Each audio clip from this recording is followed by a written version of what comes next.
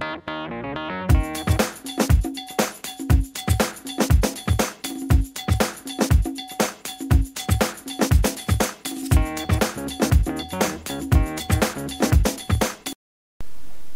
guys, how are you?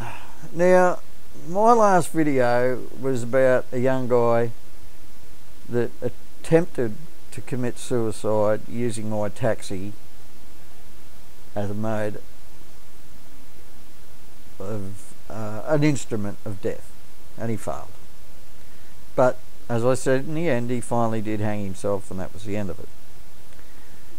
But I'll tell you another true story. Many, many years ago, now, my eldest girl is 34 now, uh, and my son wasn't born and he's 30. So it's over 30 years ago, and my middle daughter was 12 months younger than my eldest girl.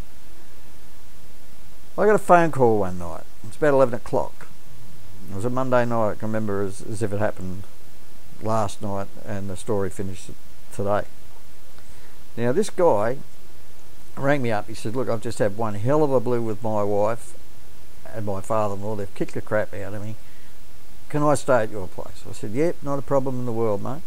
Come round, doors open, I'll throw a blanket and a pillow on the couch, you'll have to sleep there, there's no beds. Great, thank you.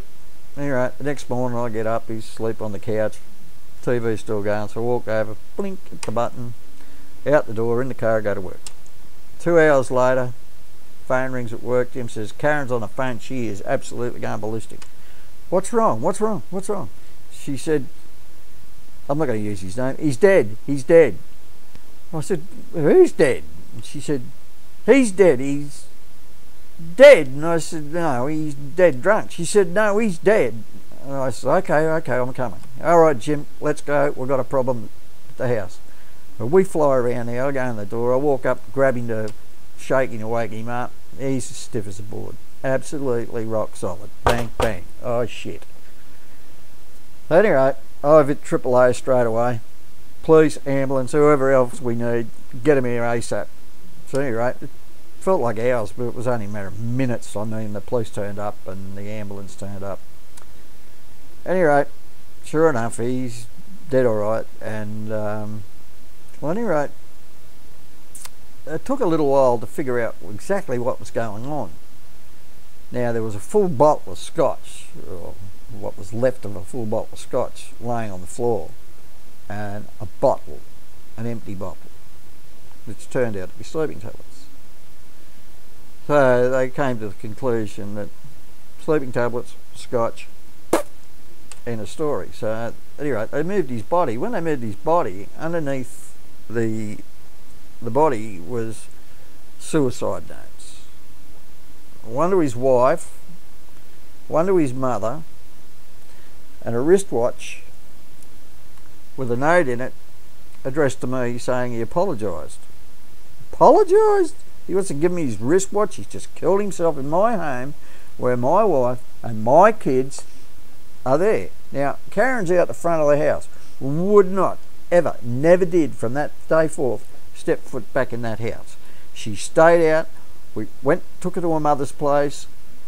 I came back. The police finally got, the ambulance guys finally got his body out of the house, and everything was left as, as it was, a mess. So I had to get a group of friends together and we went round there and we cleaned the house out, our furniture. And luckily, my boss, whose house that I was renting, he did have another place that was vacant, so we moved into there. But Karen would never go back into that house and she was traumatised for so long. Now, it went to the coroner's court. This is a couple of months down the track, and I had to get up on the stand and give him my spiel about what happened with the phone call, why he was there, so forth and so forth. So they asked his wife if she had any questions for me. She immediately attacked me. It was my fault. I hadn't checked him. It was my fault he was dead. Nothing to do with me. Now, the inconsideracy of this guy is unbelievable. To do that to people, not only to his family, but to to people that I thought I was just give, doing a good turn, letting the guy sleep on the couch. It's just they don't think. People who commit suicide have nothing between point A and point B. They can't have. Now, I remember somebody said to me once, many, many, many years ago, suicide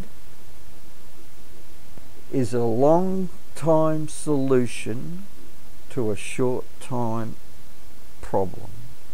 Sorry, a short term problem.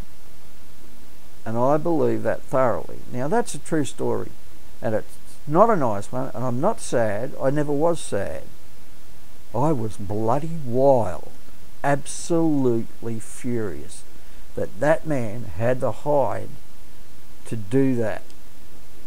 Now, I couldn't have cared less. If he would have gone and run in front of a cab, thrown himself in front of a train, fine, great, go ahead and do it. But never, you kids out there, think about it.